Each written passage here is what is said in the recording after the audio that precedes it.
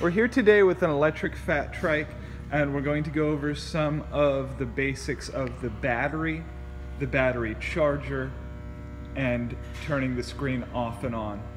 One function of the battery is that you can remove it.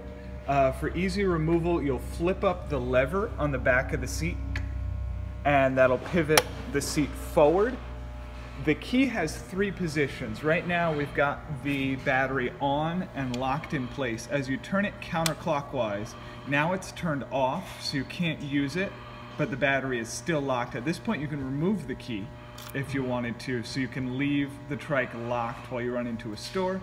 If you put the key back in, you can turn it one more position counterclockwise by pushing in and turning, and now it's off and unlocked. Turn it all the way if you will, John, and we'll be able to slide the battery out if we want to.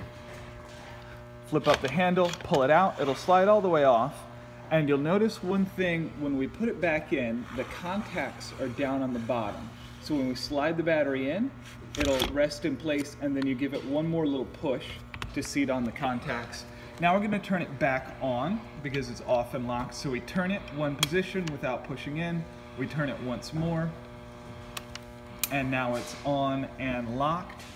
We know it's on and locked because we can use the panel here by pressing the button. You can see the battery status light up.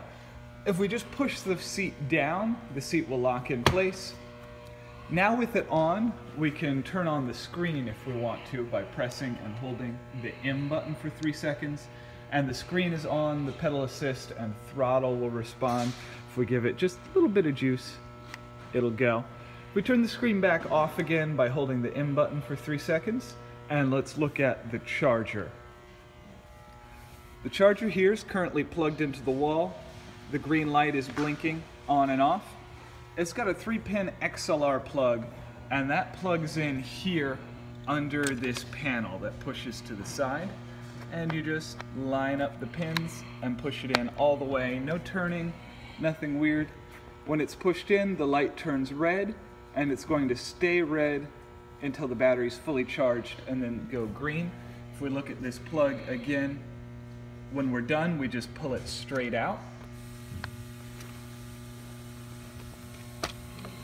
And close the panel, and we're all set.